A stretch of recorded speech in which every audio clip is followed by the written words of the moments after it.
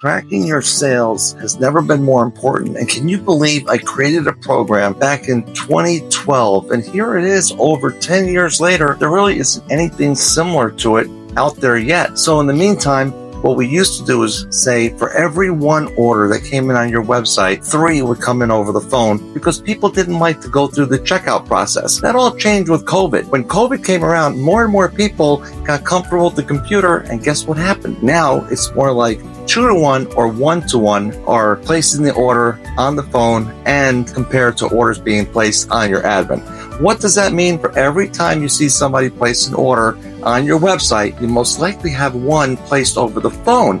So when you look at your sales overall, I gotta imagine it's pretty close to 50-50, right? 50% on the web, 50% elsewhere, but chances are they're probably touching your website or looking at it before placing an order. It was driving me crazy because I was spending so much on AdWords. I just had to know what was going on. So I put this tracking software together. It was amazing for me because it validated all my thoughts. So when we're building AdWords for people, campaigns, and we show the reports and the numbers, we believe we're very, very close to being extremely accurate. But one tip I will tell you, if you're ever letting anyone manage your um, AdWords like Hibu, these people have you give them the money and they put it in the account. Never do that. Just tell them that you want your credit card on file with Google or Bing or whoever you're working it with so you can directly pay them and then pay Hibu their commission. Never, ever, ever let somebody manage your spend. It's completely unprofessional and I can't believe it getting away with it, but more and more people are getting smart to it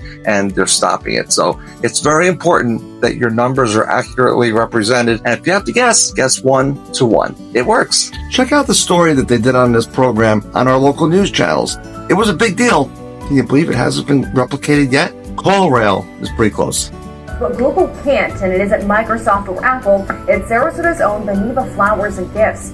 Floral Prodigy is a tool that helps Beneva Flowers track how effective their marketing is, while other analytics tell companies how long a customer was on the phone. They don't tell companies what action the customer took. Floral Prodigy integrates with Teleflora point of sales technology to show the average order value and repeat tendencies of customers calling the store, a huge benefit for independent flower stores. They're afraid of marketing and advertising because they can't quantify and see the results. I think if more people saw the results of their advertising, we would be more aggressive. And if we did that, there would be less of a national presence going into our local markets. Well, this tool is spreading nationwide to all local flower stores in the Teleflora Air network. And it isn't just limited to flowers. There's also talk of expanding the system to track advertising for restaurants. High-tech flowers right there. Who would have thought? I like it. Be sure to like and subscribe, but most importantly, leave me a message or call me if you have any questions. Thanks.